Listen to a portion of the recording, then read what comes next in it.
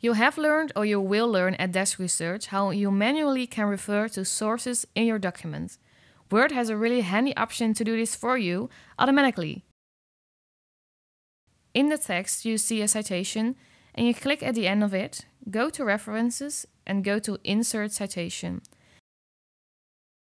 A menu will appear and you can see in a drop down menu that you can choose between a book or an article depending on your source.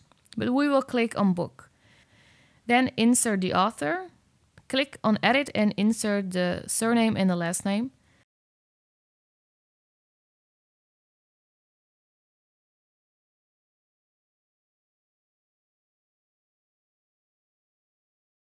a title, city, and publisher. We will insert the information everywhere where the asterisk is.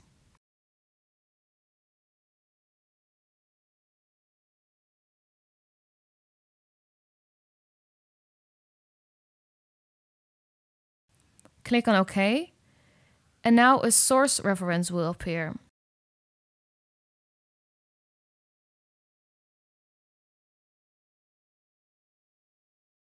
First, we made a section for your bibliography because we are working with an automatic chapter numbering and a bibliography is not a chapter, but it does have to appear in the table of contents.